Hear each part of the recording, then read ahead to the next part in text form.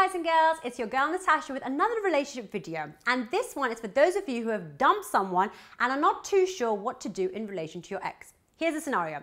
You've ended a relationship, you've moved on, and you're not too sure if there's any etiquette in relation to the guy or girl you ended it with. Let me tell you for the record, yes, there is etiquette. Firstly, you never ever ever send pictures of you and your new squeeze with any message or pictures of you and your new squeeze to your ex. You do not update loved up profile pictures to show you rolling around with your new partner to your ex. If you've moved on, that's great, but for all you know, the other person's wounds may still actually be raw. I knew a guy who did this the, to a girl who genuinely loved him. She told him she loved him, he ghosted her, only to emerge with a profile picture of him frolicking around with another girl. People who do this are LC. If you don't know what that means, it stands for low class. So do yourself a favor and don't brand yourself an LC kind of person. It's really not attractive.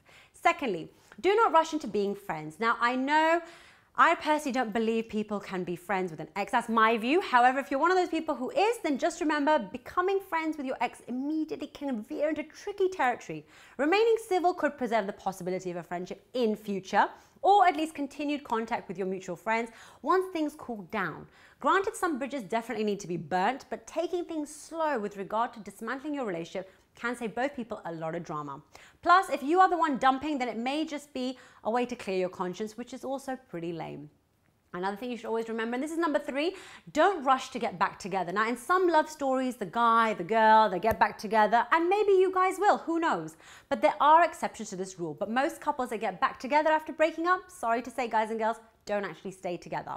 And people tend to be less happy in their relationships the second time round. Sometimes when a breakup gets unbearable, it seems like a good idea to do anything you can to get over the heartache.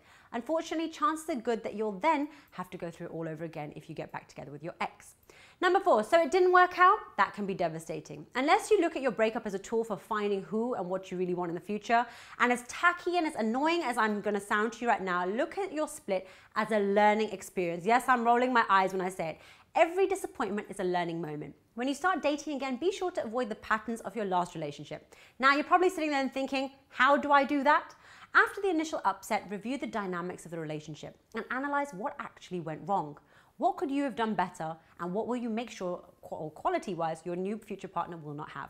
Lastly, do not ever stalk the person you have dumped or try and be best mates with his or her circle of friends. If you've dumped someone, you did not want them in your life. You did not perhaps seek or desire to make it work, nor did you feel that you could do more to express how you felt before you decided to end it. So why would you want to know what they're doing by liking their pictures, posts, and seeing their profile updates? If you have taken the decision by yourself to end a relationship and did not talk about it like a mature adult to the other person and then just bombshell them with your decision to end the relationship, you really should leave them alone to heal and live and get on with their lives without you.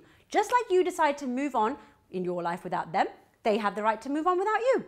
There you have it, guys and girls. Five things all the dumpers out there should keep in mind. If you like what you saw, be sure to like this video, subscribe to my channel, follow me on YouTube, Twitter, Instagram, and Facebook, and I'll see you right back here very soon. Ciao for now.